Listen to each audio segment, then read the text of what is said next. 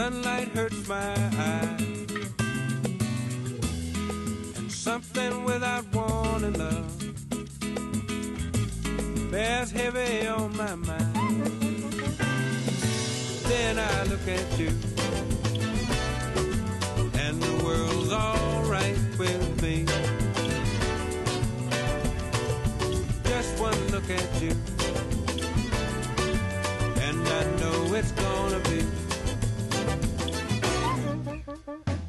a lovely day.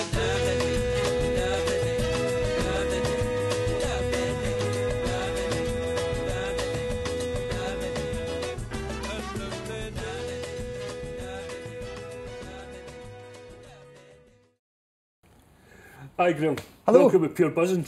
Thanks for letting us use this fantastic space.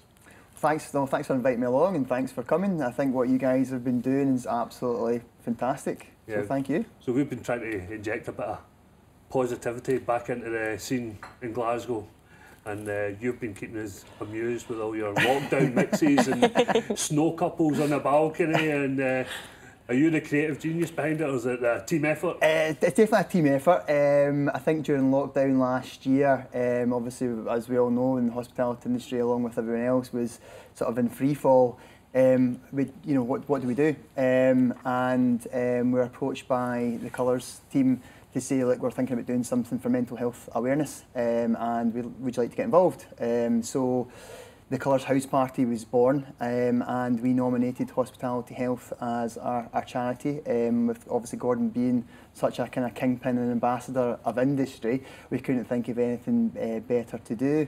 And from there, it grew arms and legs. That I think it was so successful um, that we thought, right, we could do this again and again. And it evolved into a cooking show. Uh, we did a couple of cooking shows as well with uh, Michael Brilliant. uh, and Yeah. John. So again, the relevance of you know working in a kind of catering environment and doing something up here with music. Um, having just listened to Jeff talking about mental health and you know how important it is music, I think that was something that we learned that everyone tuning in from around the world, you can connect with your friends and your family, and you can leave comments and. The power of music, it's good for the soul and all that kind of jazz. So no, it was, it was a lot of fun. So really pleased with Yeah, it. absolutely. And Red Fest 2 is obviously fast approaching. Um, I've seen it advertised. Can you tell us a bit more about it? Um, yeah, so Redfest 2, um, we nine, nine live streams last year. We thought, um, based on the kind of information that was coming out of the Scottish Government uh, last year, that I think we all thought would be open uh, this sort of, sort of the year. Yeah. So we thought our last live stream was New Year's Eve, um, we were out with a bang, so to speak.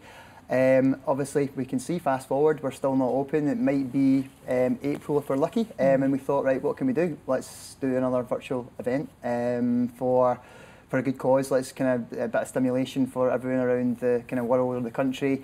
And Redfest 2 was born. So um, we decided again to give something back to the hospitality industry. So we- we've gone full circle and we've come back to. Uh, Gordon McIntyre's charity, um, Hospitality Health, because it's so important, more so than ever. I think even like my senior team who have been working on and off are feeling it more in this lockdown. I think even having a brief Absolutely. conversation with you guys, I've been the for some reason this part of the lockdown's been harder potentially than the last part because I think it's just dragging on with so much uncertainty. So it's been born. It happens uh, next Friday and Saturday night. Um, Friday night we have 11 DJs, um, some from around the world. We've got Anthony Pappa coming in from Australia. We've got a sort of legend of the sort of international scene, uh, Dave Seaman, who's produced records for Kylie Minogue amongst other things. We've got local hero um, Harry from the sub club. Um, we've got Michael Kilkie, their sort of red resident, uh, we've kind of claimed him, who's obviously the man behind the Prep Yeah. Eat to Repeat book as well. So, um, and then on Saturday um, we've got the Fratellis uh, headlining, um, which is fantastic. Amazing. They've got a new album coming out. Um, Baby Strange, who supported the very first Red Fest.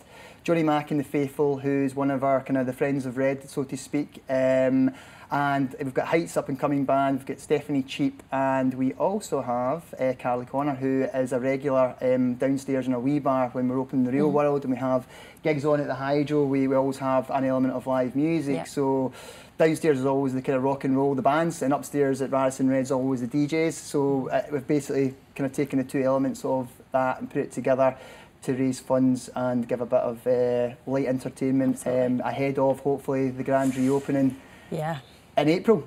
Yeah. Yeah, it's great that you're supporting uh, hospitality health. Obviously, Gordon, a big friend of all the guys here Yeah. at Pure Buzzing, you know, and uh, he was on our very first uh, he was our very first guest on the first episode. So, uh, yeah, it's with Gordon and the guys at Hospitality Health helping our colleagues. It's great to see us sort of uh, giving a little bit back, Back. you know. And was it, somebody tell me it was uh, was it about 11 11,000 or something? Eleventh, uh, yeah, it's uh, last from last year. Yeah. From last year, yeah, across the different um, charities that we supported, we had the Glasgow Children's Hospital, uh, we had Hospitality Health, we had the Ben, um, know, Benevolent Society, um, the Catherine McEwen Foundation. Across the sort of various events, it was it was pro- it's probably up to about 14, 15,000 pounds now. Fantastic. We're hoping Brilliant. that you know, depending on how the two-day festival goes next Yeah. week um, and beyond, we would like to the magic number. We'd like to kind of break the twenty Mm-hmm. pounds mark. So anyone that's uh, tuning in um, to the show next week, I mean, the lineup, the artists, everyone that's involved has given up their time. They've got no income themselves, uh, as we know, because it's not just the hospitality Yeah. industry; it's the events industry. The DJs Yeah. haven't had a gig in over a year. Uh, as well, but they're giving up their time to come along and, and the hope that we're going to raise, you know, hopefully thousands of pounds and give something back. And Yeah. as again, going back to what we've said, you know, we're all feeling it a bit more uh, this time round potentially than the last time. And I think again, Gordon is just such a, a sort of positive person, you know, and because he's so receptive and so positive. I always kind of come off, if you know, use the expression, pure buzzing having spoken to him, you know. Uh, so really pleased to be involved in, in, in doing it. But also, again, it's very much going the whole philosophy behind your show. You know, push the positivity. That's what we tried Yeah. to do. And Yeah. you were asking me about my, my snow couple, like you know, a few weeks ago as well. We just uh, a bit of daft fun. You know, we thought, Yeah. what can we do? We'll give people a laugh. Yeah. You know, obviously we were sitting there going, oh, can we actually put a snowman with a glass of wine without getting the Scottish government to shut us down? You know, um, and it was brilliant. And again, the owners of our hotel are very supportive. So something that's Brilliant. great for us at this hotel at Radisson Red is the Forest Group who own the hotel. They're champions of the industry as well. They've you know driven the fact that they want us to give back to the hospitality. They support their own staff to ensure that no one's lost their job, um, which is really reassuring. Yeah. Again, speaking to yourselves, you know Yeah. about the uncertainty, it's, Yeah. it's nice to have that kind of reassurance. And again, we're just trying to, like yourselves with the show, just give something Just positive back. Yeah. You know, we're not in a great position ourselves, but what can we do to make everyone else's Yeah. Time better? And if you can't have a bit of daft fun when it's snowing during, know. during lockdown, you know, Exactly, I then know. when can you have? Exactly, definitely. Yeah. It'll be a fantastic event, and I'm going to tune in next. I'm really Fantastic. excited. So who are you Really looking forward to seeing then, guys? Like, if you don't mind The me asking. Fratellis. The Fratellis. For yeah, sure. Yeah. Yeah, What about big yourself? fan. Same. Johnny Mac. Johnny Mac? yeah. I'm surprised at that.